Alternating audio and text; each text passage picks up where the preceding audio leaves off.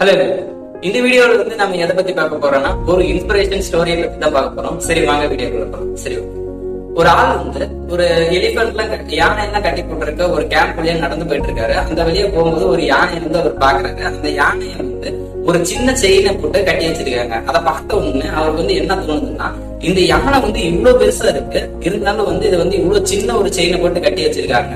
அது கொஞ்சம் யோசிச்சா கூட அந்த செயினை வந்து பிரேக் பண்ணிட்டு இந்த கேம்ப் விட்டு வெளியே போயிருப்பான். இருந்தாலும் வந்து அதை ஏன் பண்ணல அப்படின்ட்டு வந்து அவர் ரொம்ப கன்ஃபியூஸ் ஆயிருக்காரு அந்த கேள்வி வந்து உடனே வந்து அந்த யானை அந்த யானை வந்து அந்த யானையை ட்ரைன் பண்ற ட்ரைனர்ட்ட வந்து கேக்குறாரு. அது என்ன கேக்குறாருன்னா இந்த யானை வந்து ஏன் இன்னமும் வந்து இதே இடத்துலயே இருக்கு? நீங்க இவ்வளவு சின்ன செயினை போட்டு கட்டி போட்டிருந்தாலும் அது வந்து ஏன் அதை பிரேக் பண்றதுக்கு யோசிக்காம இன்னமும் இதே இடத்துலயே இருக்கு அப்படின்ட்டு வந்து கேட்டதுக்கு அந்த ட்ரைனர் வந்து என்ன சொல்றாருன்னா நாங்க வந்து இந்த யானை வந்து சின்ன சைஸா இருக்கும்போது இந்த ஒரு சின்ன செயினை போட்டு கட்டியிருந்தோம். அந்த அந்த டைப் அந்த யானை சின்னதா இருக்கும்போது இந்த சின்ன செயினே வந்து போதுமானதா இருந்துச்சு.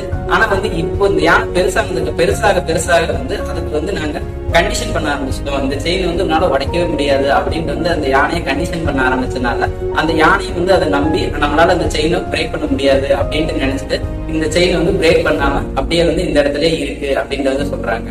சரி ஓகே இந்த கதையோட மோரல் இந்த கதையோட மைய கருத்து அப்படின்னு என்னன்னா இந்த உலகம் வந்து நம்மளையும் வந்து நம்ம நம்பாது நம்மள நம்பாம நிறைய விஷயங்கள் வந்து நம்மள பின்னாடி தள்ளுறதுக்கு வந்து சொல்லிட்டே இருப்பாங்க. அது எல்லாம் காதல பார்க்காம உங்களுக்கு என்ன தோணுது? உங்களுக்கு பிடிச்சத வந்து நீங்க உங்களுக்கு பிடிச்ச வழியில வந்து செஞ்சுட்டே இருந்தீங்கன்னா வந்து உங்களால கண்டிப்பா அச்சீவ் பண்ண முடியும். நீங்க அச்சீவ் பண்றதுக்கு வந்து என்ன பண்ணணும்னா முதல்ல உங்களை நம்பணும். உங்களால முடியும் அப்படின்றத வந்து நீங்க நம்ப ஆரம்பிச்சிட்டீங்கனாவே உங்களால எதை வேணாலும் சாதிக்க முடியும். சரி இந்த வீடியோ உங்களுக்கு பிடிச்சிருந்தா லைக் பண்ணுங்க கமெண்ட் பண்ணுங்க ஷேர் பண்ணுங்க.